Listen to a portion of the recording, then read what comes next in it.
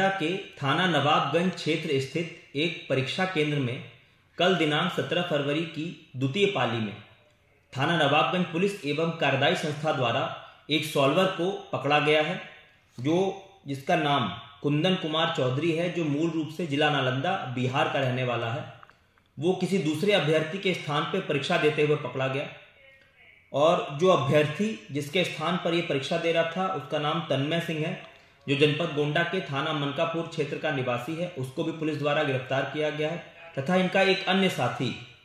हरिंदर कुमार, जो जनपद गोंडा के ही थाना धानेपुर क्षेत्र का निवासी है, उसे भी पुलिस द्वारा गिरफ़्तार किया गया है। इन तीनों से जब पुलिस द्वारा विस्तृत पूछताछ की गई तो इनके द्वारा बताया गया, जो जनपद गोंडा के स्थानीय निवासी हैं, तन्मय और हरिंदर, इन दोनों के द्वारा पुलिस भर्ती परीक्षा का फॉर्म भरा गया था, और सॉल्वर के रूप में जनपद नालंदा बिहार का रहने वाला कुंदन चौधरी इनके द्वारा इनसे संपर्क करके इसे बुलाया गया था और छह लाख रुपए में इनकी डील तय हुई थी। और कल जब ये तन्मय के स्थान पर परीक्षा दे रहा था, उसी वक्त ये सॉल्वर पकड़ लिया गया।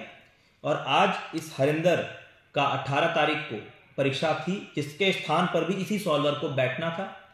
लेकिन समय रहते थाना नवाबगंज पुलिस एवं कार्यदायी संस्था द्वारा इस सॉल्वर को पकड़ लिया गया। इस प्रकार इन तीनों के विरुद्ध थाना नवाबगंज पर गंभीर धाराओं में अभियोग पंजीकृत किया गया है और इनके विरुद्ध थाना नवाबगंज पुलिस द्वारा आवश्यक वैधानिक कार्रवाई की जा रही है।